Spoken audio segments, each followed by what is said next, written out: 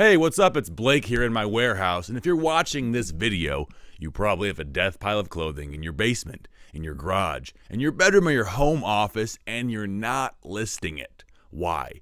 Well, because you, like me, are not made to be a clothing reseller, and that's fine. It's totally fine. But this video is five reasons why I am done selling clothes online.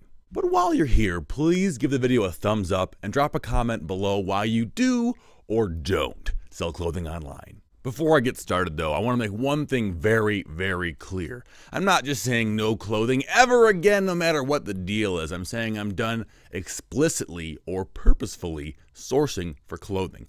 Now, if I go to a garage sale and there's a $5 Black Sabbath t shirt, am I buying it? Yes, of course I am. But no more trips to buy clothes. Everything that I buy clothing wise will be purely incidental to my business plan consider this a deprioritization of clothing. I'm not totally swearing it off indefinitely forever, but just no more sourcing trips, no more plans to make money selling clothes. If I do, it's just gravy, it's just some good stuff on top. Reason number one is too many details. If I'm selling some video games, I can say, okay, it plays, and sell it as acceptable condition, and no one's gonna complain. I'm selling golf clubs, take a picture of the heads, the grips, and then they know what they are. If I'm selling clothes, they want to see, oh, what's the color in this lighting? Uh, what are the measurements like? Are there any pinholes in there? Stuff that I don't have the eye for. I'm good at seeing if things work, but uh, the condition, the uh, the details that might range from acceptable to very good and everywhere in between, I just don't have the eye for that, and I've tried for years and years to gain that skill, but I just can't do it. And so, what am I doing now? Am I just wasting my time trying to do it more and more? Or am I saying, you know what? I'm good at some things, I'm bad at other things. Let's focus on the things I'm good at. How they're used also bothers me. This is reason number two. Video games. An Xbox game, for example, it goes in an Xbox video game console, and if it works, it's fine.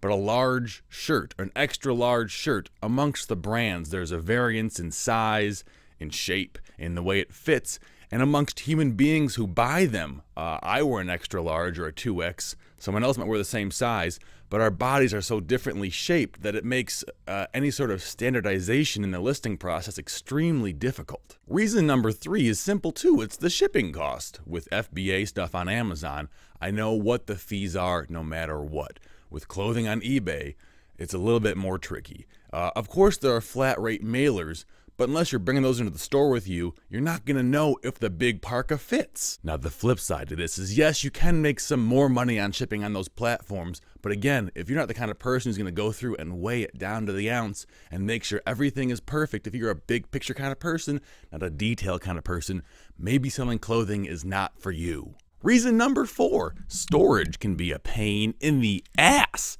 Books are stackable. CDs are stackable, they take up no space. Calculators, very small, put them in a box. Clothing. They have to be displayed on either a rack or in large bins on deep shelves. They take up more space. I've always said that having a online clothing store is a lot closer to having an online art gallery and the way you store and present things uh, as it is having an online video game store or an online used bookstore where the uh, the things you have have much more utility, I suppose, and therefore selling them is easier because you're you're you're matching needs, you're not matching taste. My final reason, and the second to last thing I want to tell you, and this is what it all comes down to really, is money. For me, the money isn't there. I can list about 10, maybe 15 things an hour, and that's a me thing, not a not a clothing thing, but it's a Blake thing, and that's the whole the crux of this video. You can't do things that other people do that are great for them. You got to do things that are good for you. What works for you. And in that vein, selling clothes doesn't work for me. If I'm making 25 bucks an hour and I can make 90 bucks an hour selling used DVDs, why would I ever sell used clothing? Now, if you're someone who has a system and you're listing 25 things an hour and those 25 things are pretty guaranteed to make you 10 bucks, I'm a fool, don't listen to me. But for everyone else who's struggling maybe and you're trying to sell clothes and it's not working, don't believe everything you see around you. They're not you. I mean, believe it, they're not lying to you, but don't think that I have to fit myself into that mold. Find a mold that works for you and then grow inside that. Put your energy into that, and you're to have way, way, way better results. Again, I'm still selling some clothing on Mercari on eBay, jerseys, big jackets, that kind of stuff, but it's things that I bought a year ago.